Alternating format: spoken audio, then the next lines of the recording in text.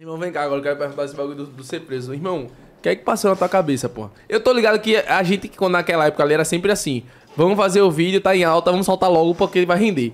Tanto que, quando eu fiz o meu vídeo na pegada de La de Papel, né, eu tinha... Gregory Cast tinha, tinha, tinha soltado dele e eu soltei o meu horas depois, porque a gente teve a mesma ideia parecida, pô. A gente soltou no mesmo dia, só que em horários diferentes. Não tinha como eu gravar um vídeo tão rápido e editar, não. Ou seja, a gente gravou na mesma pegada. E a gente soltou, tá ligado? Quando foi no outro dia, só foi a notícia. Os caras quer dizer que minha mãe, Vitor, olha a televisão, já se foi preso. E, tipo, parou tudo, não foi? Parou, Todos os jornais, todos e, mano, por conta do vídeo dele, Cardinou começou a botar meu vídeo na televisão.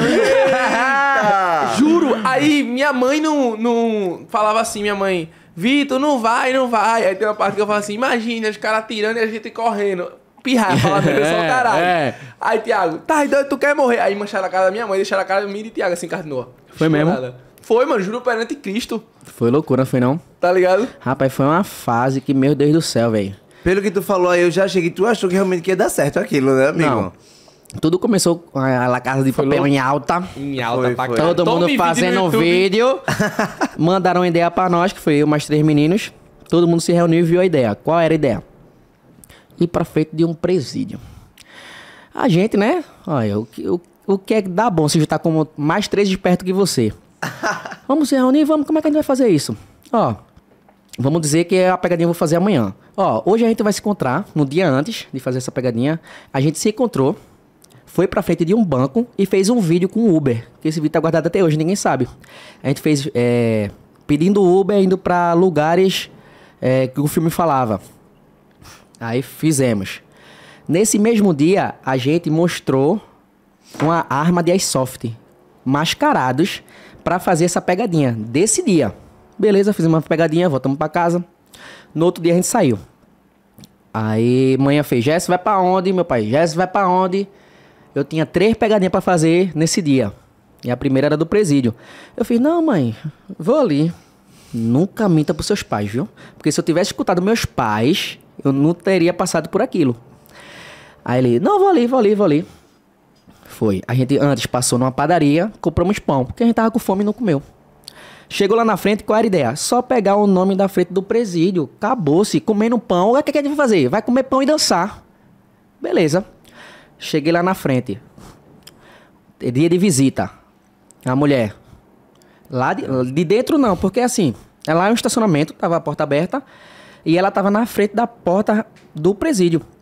Aí eu cheguei na entrada do estacionamento, procurei o segurança da guarita, ninguém tava, pra pedir permissão. Eu- aquela pegadinha, eu ia pedir permissão, porque ali é uma área de segurança. Sim, sim. Aí ela olhou pra mim, Gesso, isso é, isso é o quê? É pão, é? Eu fui, é. Ela, me dá um. Aí eu, todo mundo pensa que essa história até foi mentira depois, mas foi provado. Eu, tome aqui, minha senhora. Quando eu cheguei pra dar ela, sai do- uns 12 caras de preto. Tá preso, bora, mão na cabeça. Aí eu ia correr. Eu ia correr, passou uma men mentalidadezinha aí, correr, né? E quando eu pensei em correr, os caras já estavam em cima de mim. Deita! Deitei. A máscara tava aqui no cotovelo. Bota a máscara nesses putos. Botou a máscara no rosto da gente. A gente tá gemado. Começaram a gravar vídeo. Galera, acabaram de invadir um presídio aqui, ó. Meu irmão. Eu fiquei de cara, não acreditei. Caramba, véi. Aí eu. Me... Aí botaram a gente lá pra dentro do presídio, mas numa sala. Foi pressão psicológica, meu filho. Hoje eu tô preparado pra qualquer pressão, viu? Porque o que eu passei ali, botaram spray de pimenta, ajoelharam a gente.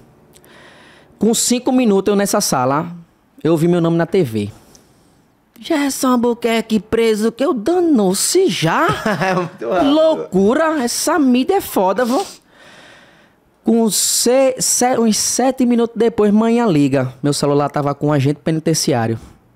Quer dizer, perdão. Meu celular tava no meu bolso. Eu ainda tava com uma fantasia.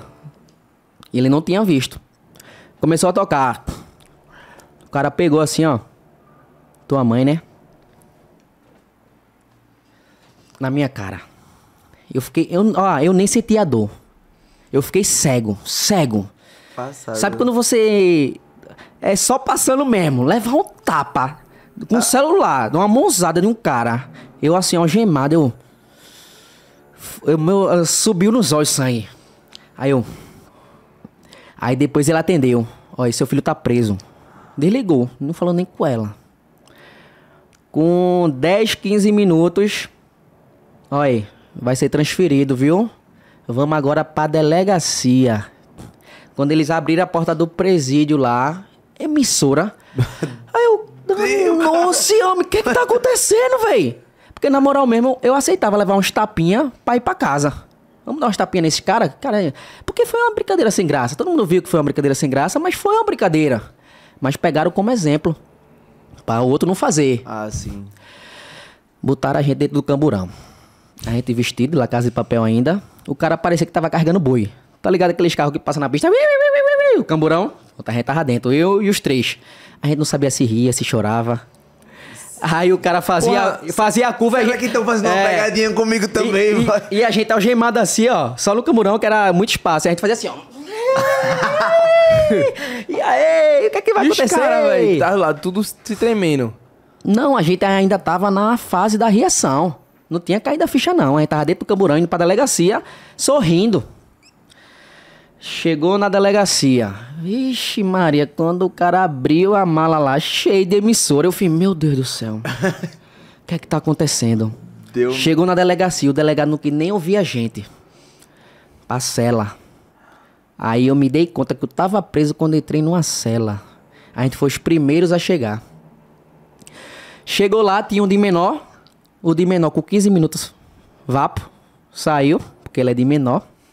E o que deixou a gente preso foi por causa que ele que era de menor, porque, segundo a lei, é inafiançável. E a gente tinha que ir pra audiência de custódia, que antigamente não tinha. Sorte, porque senão eu tava preso. Mas tem, né? Agora, audiência de custódia. Aí eu olhei pros meninos assim, eu. E agora? Testa eu tirar teu celular meia horinha nessa sala aqui pra ver como tu fica.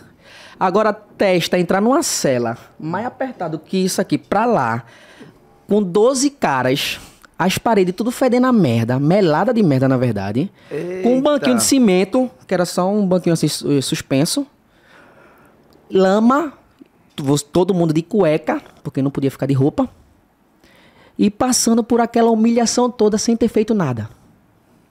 E a todo momento chegavam os presos. Na, é, um estelionatário, um cara que Sim. roubou, um cara que matou. Chegava o dia todo e no total foi 12. Então a gente virou a atração, na, a TV só dava gente e os policiais iam visitar a gente. Quem foi os Paulo Cook aí? Quer fazer graça aqui? Aí chegava na, na, na cela da gente. E a gente. Aí eu tentava confortar meus amigos ainda, né? Calma, a gente vai pra. um-. A gente vai pra uma televisão aí, pô. Vai ser nacional, pô. Vai ser nacional, calma, pô. A gente vai contar essa história, pô. Só que você fica na noia. Por Sim. quê? Um juiz ou uma juíza vai lhe dar a liberdade ou não. E ele pode acordar no dia de mau humor e. ai, vai pro presídio, tu. Tua vida acabou, velho. Tá ligado? E você fica nessa tensão. Será quem vai ser o juiz? Quem vai ser o juiz? Será que ele vai entender? Porque teve me de cima, lascou tudo. Sim, sim. Teve me de cima, a galera só empurra com os dois Só que, pés. tipo assim, se movimentou uma galera da internet de se fuder a teu favor, sim, velho. sim. A Apareceu advogado, apareceu tudo. Queria até agradecer a meu fã, Eduardo Moura. Um abraço gostoso. Me ajudou muito, viu? Briguei com ele ao vivo, irresponsável. Falou muitas mentiras comigo ao vivo. Até perdoo ele, porque é meu papel como cristão de perdoar ele. Porque assim, o que ele fez não se faz. Mas foi Eduardo o, Moura, passou, o o, o jornalista. repórter lá, o jornalista. Jornalista. Aproveitou a matéria todinha pra botar Botou- pra lascar. foi, foi. É, não sei o que, não sei o que, não sei o que, não sei o que. Ganhar ibope, né? Olha, agora eu lhe pergunto, o que mudou na sua vida? Foi, passou o dia na cadeia. O tempo não passava, amigo. Ixi, O tempo não passava. Eu comecei a fazer amizade com meus amigos, né? com os presos, né? Novos amigos. Comecei, ó. E aí, pai, fizesse o quê? Matasse e roubasse o quê? Aí, os Ai, cara- cara, e tu? Ó, eu até contei isso. É, Cara, eu fiz uma pegadinha. eu não. É, é. Eu não fiz nada. Aí os caras. É engraçado que os caras me conheciam. Ah. Aí os caras falou Me Gesso, meu irmão, a gente querendo sair, tu entrar. tá ligado? No presídio. Fiz, é, pai. Aí eu dormi do lado do cara, que ele tava até nu, porque ele tava sem cueca. E eu, eu contei isso em outro podcast, que foi engraçado. A gente dormia assim, só com a parte de cima da coluna. E dava quatro caras só, assim, no, no negócio de cimento, e os outros ficavam no chão. Aí a gente tentando cochilar, de madrugada, a hora não passava, aí ele toda vez que ele se acordava, ele. Meu irmão, era pra eu ter matado aquele cara, velho. Misericórdia!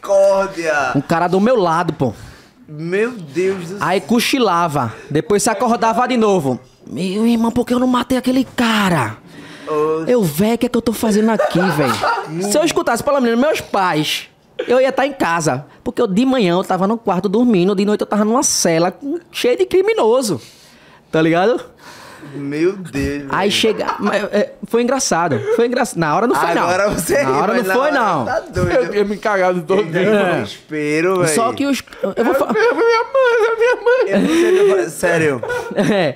Aí, o- acho que o mais é, decepcionante pra mim foi ver minha família passando por aquela situação.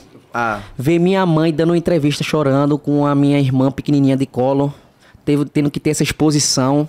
Ah, sim, verdade. Ver elas passando por isso tudo. Aí quando foi de noite, né? Eu com os caras lá, A ficha já tinha caído aí. já tinha caído, já tava. que eu tava sentindo lá dentro era, o- era o mesmo que eles estavam sentindo do Sim, mesmo de fora, sim, né? porque Sem saber- mãe, tipo, sem pai, saber, tipo, se família. ia ficar, se o que ia Tá- isso. também, né? Sem E- resposta. E lá de dentro a gente não sabia nada, velho. No que tava acontecendo aqui fora. É loucura, loucura de verdade. Quando foi de noite, aí minha mãe foi me ver na cela. Me visitar. Só que não podia entrar não, era pela grade mesmo. Já quantos, quantos dias isso? Era na mesma noite. A gente entrou de tarde, isso foi de noite. Véi, ela chegou. Ela só não me chamou de santo, meu pai. Ela só não me chamou de santo. Eu vou tirar tua moto. Eu vou tirar teu celular. e tu não vai mais postar vídeo. Tu vai se. Quando tu sair tu vai me apanhar tanto. Aí eu olhei pros presos assim. Só os criminosos. É melhor ficar aqui, né? Eu tô sem nada já. Tô sem nada, vou ficar aqui, né? Aí eu olhei pra minha irmã. Ela, Gesso. Eu, tu tá aí famoso. Aí eu, porra, eu ri e chorei. Não sei se eu tô bem sem Tá ligado? mal. Aí foram embora. Marcou. Aquela, aquele episódio lá marcou na minha vida. Mano, teu nome era nacional, cara. Era. Era. Tá doida. Ligava qualquer TV, velho. E Era. com a almoçada de lagaça de papel, tá Era. ligado? Irmão, A cena de você ah, indo no e- chão. é. Naquela bunda. Eu emplaquei outro vídeo valendo um milhão. Batendo um milhão por causa disso. Porque eu peguei. Ah, o, Recife, o. Recife Ordinário também. A gente fez uns vídeos lá depois. Deu uma subida, deu uma subida. A gente pegou, eu peguei o vídeo de Thiago, trolei Thiago. Eu disse, ó, Thiago, um oficial de justiça. Falei com o Gabriel do Recife Ordinário.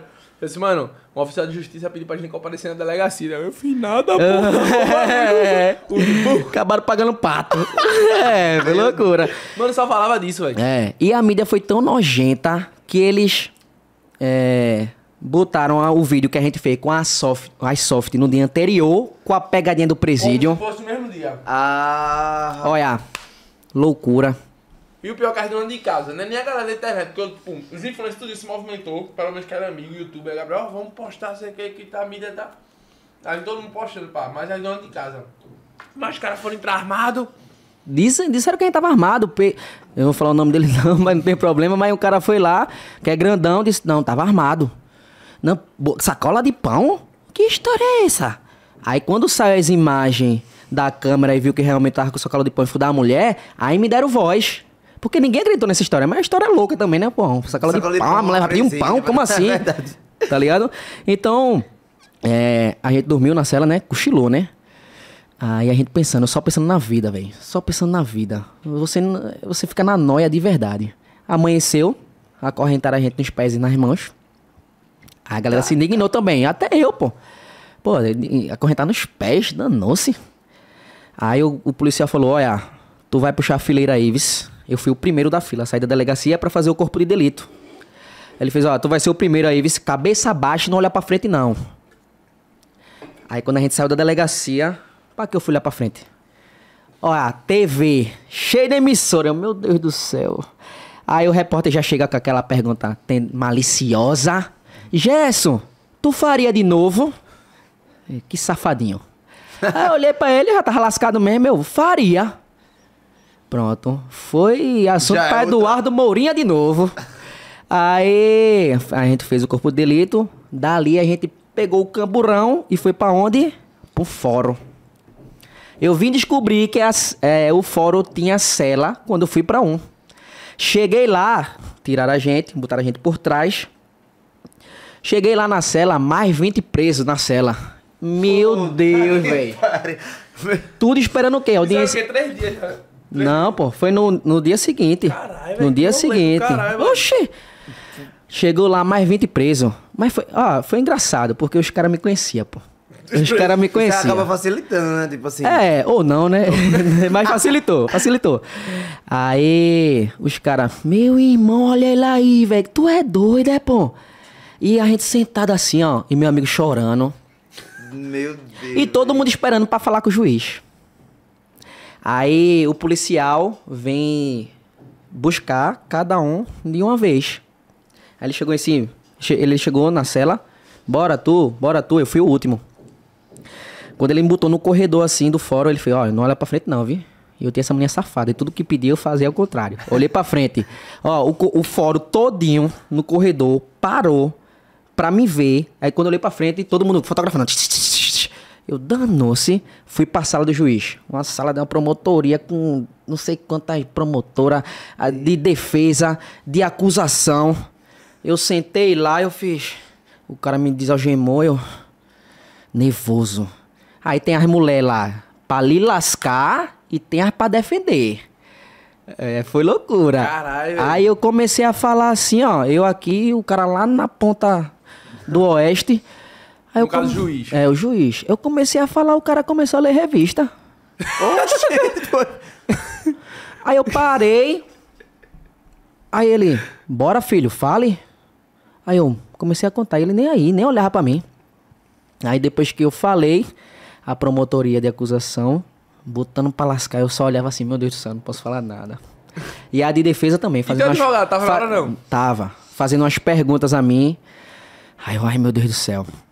Aí acabou tudo, né? Volta pra cela. Voltou, algemado. Pá. Aí depois que vai buscar todos os presos, o policial vem com um papel que tem umas 10 folhas, tudo escrito. Ele, ele, ele dá pra você pela grade assim, ó. Toma aí, vê aí o que é que deu. Porque lá vai ter o quê? A fiança, ou não, vai descer pro presídio, vai ser liberto. No papel tem a decisão do juiz. E o policial, ele veio me entregar já assim, ó, com a cabeça negativo. Oxi. Meu amigo já começou a chorar. Meus olhos já brilhou. Meu Eu Deus fiz. do céu. E agora, quando eu comecei a ler, aí o papel tinha fiança de 15 mil e meia hora. Aí o policial olhou pra mim, tu não gosta nem de fazer pegadinha? tá ligado? Eu gosto de safado, velho. Me conheci o do lado. Aí, aí foi dividido, tá ligado? Eu fui o primeiro a sair, velho. Quando eu saí... Olha, eu vou dizer uma coisa. Você só dá valor à liberdade quando perde ela. Meu amigo, eu nunca fiquei tão feliz em ver a rua, velho. Eu nunca, eu, ah, eu nunca fiquei tão feliz na minha vida. Quando eu saí dali, eu pensei em muita coisa, em mudar muita coisa. Tanto que quando eu saí também, manhã nem me deu estapa, porque ela viu que eu passei. Meu celular tá preso até hoje, acho que se perdeu. Então, foi aprendizado. Eu acho que tá tudo escrito. Sim. Deus permitiu tudo. Às vezes eu fico viajando, pô, será que isso teve que acontecer mesmo? É na dificuldade que Deus vai lhe mostrar. Deus não bota prova maior do que você pode suportar, não, velho. Teve que acontecer. Foi foda mesmo. Teve que acontecer, acabou-se. Levei isso como aprendizado. Ah, não vou me lascar não pra fazer os outros rir, não. Quer dizer que é fake? Fala, pô. Vai fazer o que eu faço, porque a galera tá aí pra julgar, pô. Mano, Tá eu ligado? acho que foi bom que tu teve esse choque numa, numa barada que, tipo assim, querendo ou não, pagasse ali, tais aqui. Imagina algo que tua vida. Se Exatamente. chegasse no Olha. ponto de tu perder tua vida. Talvez Livre- aconteceu isso antes. Tá, mas tu não tem limite não, pai. Livramento de Deus.